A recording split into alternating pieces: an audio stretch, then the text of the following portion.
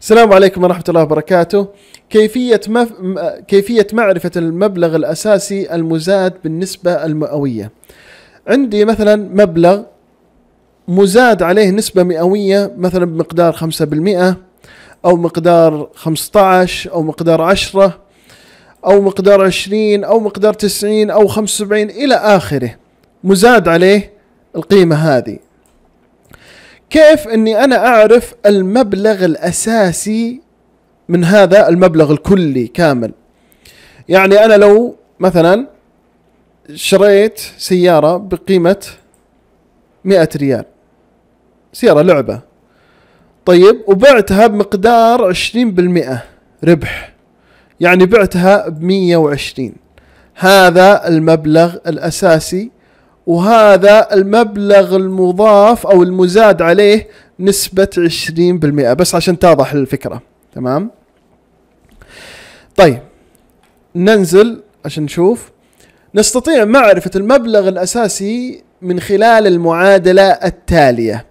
أول شيء المبلغ الإجمالي. كم المبلغ الإجمالي مع زيادة آه، النسبة المئوية؟ مع زيادة مثلا نسبة الض- الضرائب الضريبة أو إلى آخره تمام تقسيم نسبة الزيادة المئوية كم. كم زادوها؟ زادوها مثلا 15% زادوها 20 زادوها 5 إلى آخره زائدا 100 تمام؟ نجمع هذولي زائد 100 تمام؟ شوفوا الأقواس هذه ها تمام؟ نبي نشرحها مرة بشكل موضح وإن شاء الله سلس بعدين نضربها بمئة. بس هذا هو. ويطلع لك المبلغ الأساسي. طيب نجي على أول مثال. طيب عندنا مبلغ 550 مبلغ كلي. مزاد عليه مقدار 10% تمام؟ كم المبلغ الأساسي؟ كم المبلغ الأساسي بدون العشرة بالمئة هذه المزادة؟ تمام؟ أول شيء نجيب المبلغ الأساسي نحطه هنا. نكتبه. بعدين نكتب تقسيم نفس المعادلة اللي فوق قبل شوي. بعدين الآن العشرة هذه نزيد عليها مئة بس تطلع مئة وعشرة. شوفوها مئة وعشرة.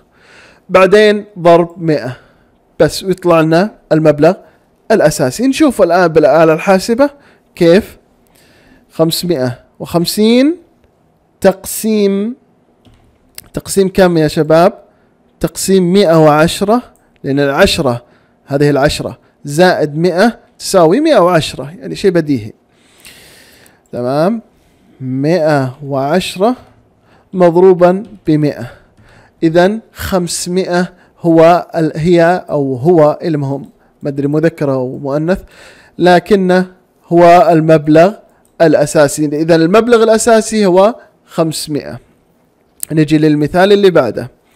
عندنا مبلغ 808 بزيادة مقدارها واحد بالمئة. يعني المبلغ هذا كان أساسي زادوه واحد بالمئة فأصبح مئة وثمانية. كم المبلغ الأساسي؟ نحوله تمام آه، 808 بعدين تقسيم. نفتح القوسين هذولي. واحد زائد مئة تساوي مئة. بس عشان نختصر الوقت. بعدين نضربها فقط بمئة. هذا هي بكل اختصار. بكل اختصار. نشوفها بالآلة الحاسبة. نقول ثمانمائة وثمانية. ها؟ وش نسوي بعدها؟ تقسيم. تقسيم. وين الآلة الحاسبة تقسيم. ها؟ واحد بالمئة زائد مئة تساوي مئة وواحد. تمام؟ تقسيم مئة وواحد مضروبا بمئة.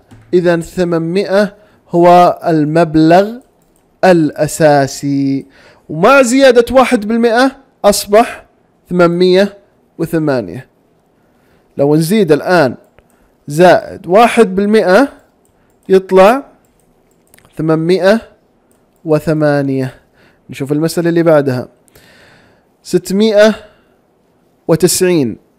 مبلغ كلي بزيادة مقدارها 15% كم المبلغ الأساسي؟ طيب ستمائة وتسعون. بعدين تقسيم خمسة عشر زائد مئة. كم يساوي؟ خمسة عشر زائد مئة مئة وخمسة عشر. سهلة. تمام؟ بعدين ضرب مئة كالمعتاد يعني. نفس المعادلات اللي اللي قبلها. نقول المبلغ الكلي 690 تقسيم 115 مضروبة بمئة. إذا هذه هذا المبلغ الأساسي. إذا 600 هو المبلغ الأساسي. طيب نجي اللي بعدها. قبل الأخيرة المثال قبل الأخير. يلا أنتم حلوها الآن ثم تعالوا نرجع مع بعض. يلا وقف المقطع. وقفتوا؟ خلاص. الآن المبلغ الكلي مع زيادة 16% تمام هو 116 طيب تقسيم. تقسيم ماذا؟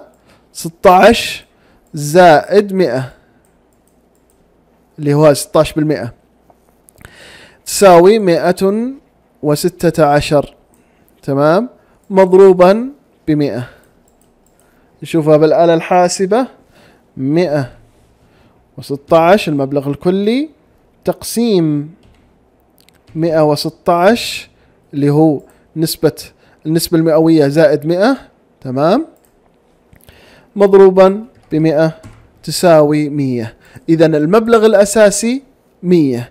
مع زيادة ستة عشر بالمية تصبح مع زيادة 16% تصبح 116 نجي المبلغ المبلغ اللي بعده مبلغ 19 مبلغ كلي مزاد عليه 90% كم المبلغ الأساسي؟ إذا 19 حلوها أنتم. وقفوا حلوا المقطع. إذا نشوف بنتأكد من صحة الحل. 19 طيب تقسيم تسعين زائد مئة. ها كم يساوي يا شباب؟ يساوي مئة وتسعون. مضروبا بمئة. يطلع لك المبلغ الأساسي. طيب نطلع نشوفها. تسعة عشر. مضروبا بمئة وت... آه عفوا عفوا أنا آسف. مو بمضروب قسمة قسمة. آسف. طيب 19 تقسيم 190 مضروبا بمئة تساوي عشرة. إذا المبلغ الأساسي هو عشرة. مع إضافة تسعين بالمئة يصبح تسعة عشر. وشكرا لكم على المشاهدة. أتمنى أني أكون خفيف. أتمنى أني أكون وصلت المعلومة بشكل جميل بشكل سلس. وهذه نهاية المقطع. وشكرا لكم. جزاكم الله خير. لا تنسونا من دعائكم.